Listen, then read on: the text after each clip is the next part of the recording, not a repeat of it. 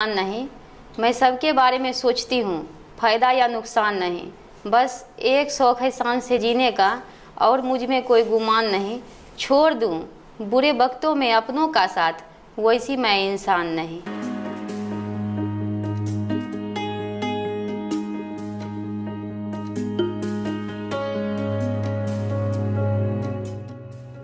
नमस्कार, मैं पुष्पांजलि, आप सभी दर्शकों का केवी स्टूडियो के कार्यक्रम कहता बेगूसराय, बढ़ता बेगूसराय में हार्दिक अभिनंदन करती हूँ, स्वागत करती हूँ। हमारा एक यूट्यूब चैनल है स्टार्स ऑफ़ बेगूसराय, जिसे लाइक करें शेयर करें और सब्सक्राइब करें।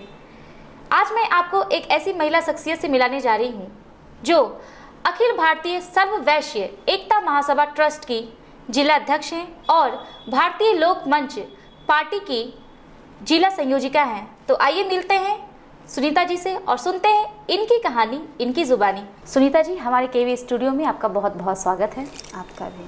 सबसे पहले सबसे पहले मैं डॉक्टर रोशन कुमार सर को धन्यवाद देना चाहती हूँ जिन्होंने हमें इस लायक समझे और इस स्टूडियो में आमंत्रित किए। मैं उनकी सदैव ही आभारी रहूँगी। जितने भी टीम यहाँ पे उपस्थित हैं उन सबको मैं धन्यवाद देना चाहती हूँ। जितने भी दर्शक इस चैनल को देख रहे हैं उनको भी मैं सुनीता गुप्ता नमस्कार करती हूँ और प्रणाम करती हूँ।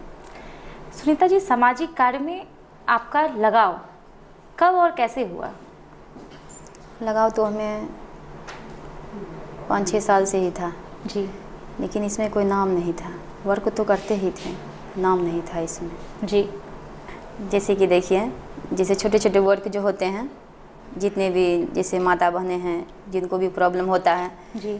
तो अगर कोई उनको मैंने प्रॉब्लम को मैंने नहीं ख़त्म किए तो जैसे कि हमको ये पता है कि यहाँ पे इनको ये कार्य हमको ये पता है यहाँ पे ये कार्य होगा। जी। तो हम जैसे हमको हम मेरे पास वो आती थी। जी। हमको बोलती थी कि सुनीता जी हमको यह कार्य करवाना है। कि ठीक है हम कर देंगे।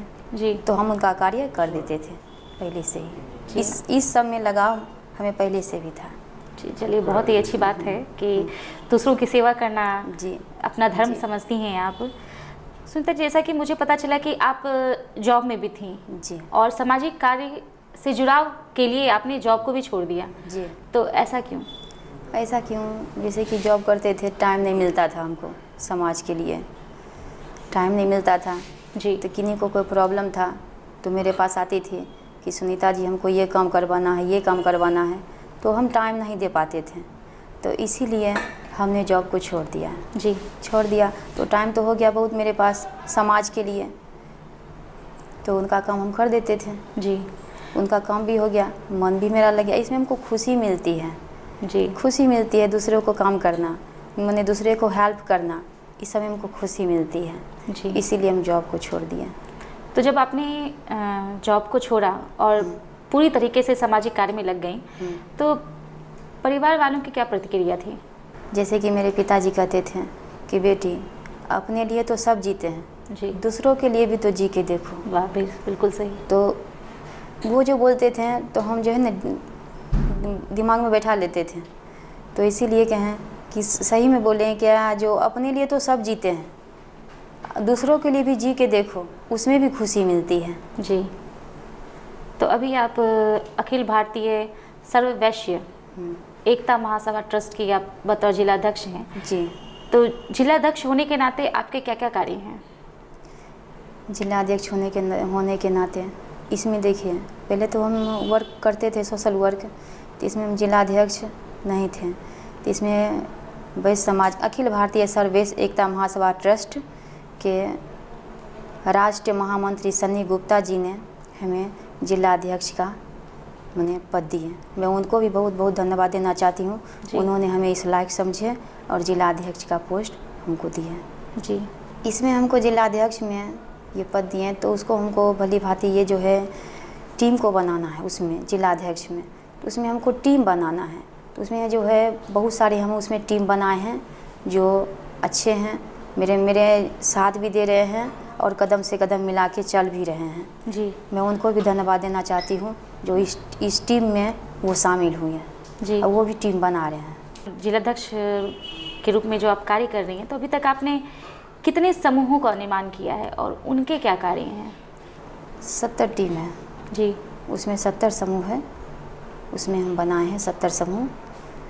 और वो भी वो भी प्रभावित है इस समाज से। इस वैश्य समाज से। एकजुट लाने में। वो भी कहें कि सुनीता जी हम आपका साथ देंगे इस कार्य को आगे बढ़ाने में। और वो सब भी इस टीम को बना रहे हैं। जी।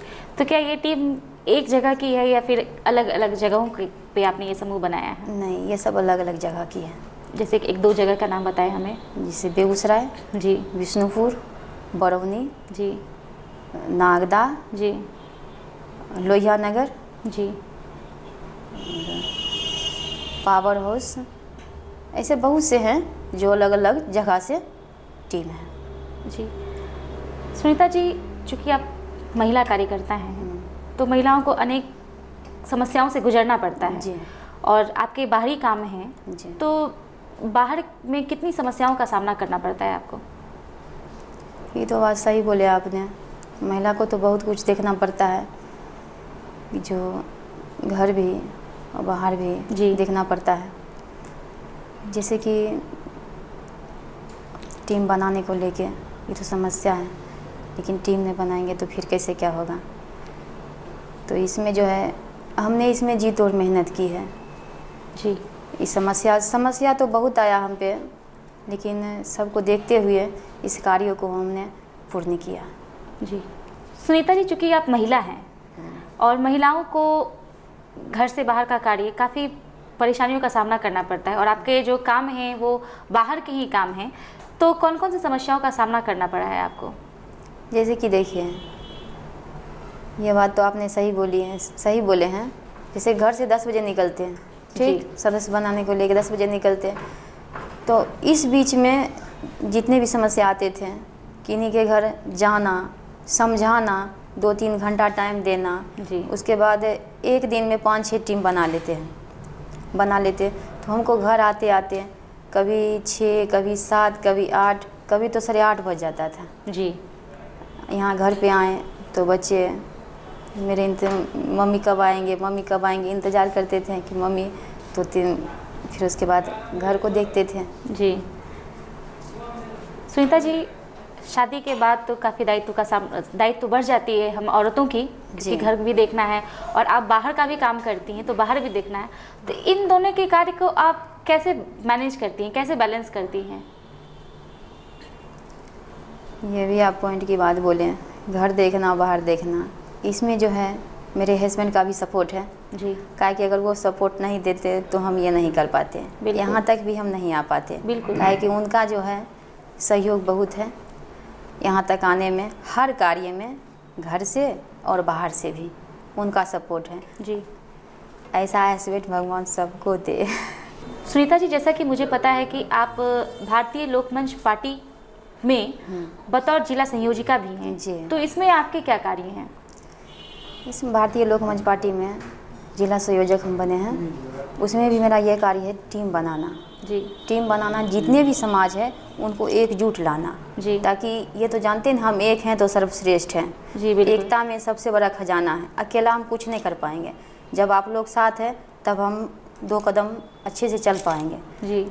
इस उसमें भी टीम बनाना है एकजुट लाना है समाज को समाज के प्रति। जी।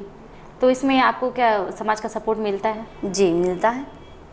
जो टीम बनाए वो भी सपोर्ट करते जी। हैं और जहाँ भी हम जाते हैं वो भी बोलते हैं क्या जो आपकी ऐसा मेला होना चाहिए जो घर घर देखते हुए बाहर देखते हुए समाज के एकजुट में लगे हुए हैं जी। मैं भी आपके साथ हूँ।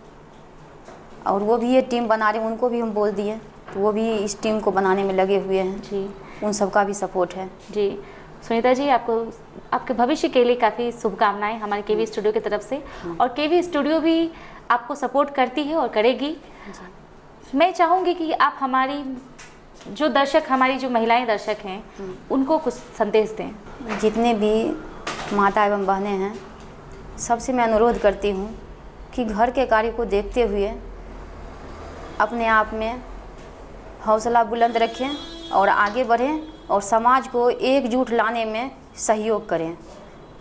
मैं यही आप लोग से कहना चाहती हूँ कि घर से घर में रहने, घर को देखते हुए, घर को देखते हुए जितने भी माता बहनें हैं, एकजुट, एक समाज बनाइए।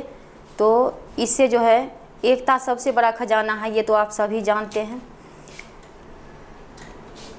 एक समाज बनाइए, एकजुट बनाइए। सुनीता जी, आपने जो वैश्य समाज का संगठन किया है तो इस संगठन को बनाने का उद्देश्य क्या है? क्यों बनाया है आपने इस संगठन को? मैंने इस संगठन को इसलिए बनाया क्योंकि देखिए जितने भी जितने भी समाज में हैं उसमें एकता नहीं है। जी। सब अलग अलग अलग टुकड़ों में बटे हुए हैं। जी। मैं ये चाहती हूँ कि जितने व्यापारी भाई हैं जितने भी हैं जो भी हैं तो वो एकजुट अगर हो जाएँगे एकजुट तो कितनी खुशी की बात होगी। जी। समाज में कितना बड़ा बदलाव आएगा।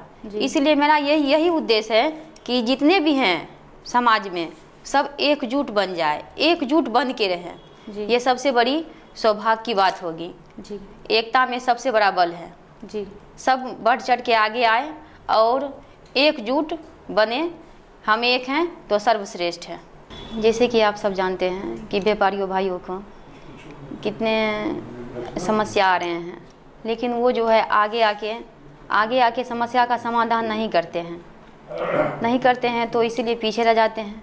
मेरा उद्देश्य यही है, जितने व्यापारी भाई हैं, उन, उनकी समस्या आप लोग तक मैं पहुँचा सकूँ और उनका जो समस्या है, मैं दूर करने की कोशिश कर सकूँ। जी, मेरा उद्देश्य यही है। मतलब जो भी व्यवसायी जो भी वैश्य समाज है उनकी जो समस्याएँ हैं वो आप आमजन तक पहुँचा रही हैं। जी। चलिए सुनीता जी ये तो काफ़ी अच्छी पहल है और आपकी जो ये सोच है वो हमारे केवी स्टूडियो के माध्यम से उन वैश्य समाज को ज़रूर जाएगी और वो अपनी समस्याओं के समाधान के लिए आपके पास ज़रूर आएँगे। हमारे केवी स्टूडियो में अपना बहुमूल्य समय देने के लिए बहुत बहुत धन्यवाद। आप सबको भी बहुत बहुत धन्यवाद। कमी तो मुझमें भी है पर मैं बेईमान नहीं। मैं सबके बारे में सोचती हूँ, फ़ायदा या नुकसान नहीं। बस एक शौक है शान से जीने का, और मुझमें कोई गुमान नहीं। छोड़ दूँ, बुरे वक्तों में अपनों का साथ, वैसी मैं इंसान नहीं। नमस्कार, मैं सुनीता गुप्ता, आप सबको नमस्कार करती हूँ।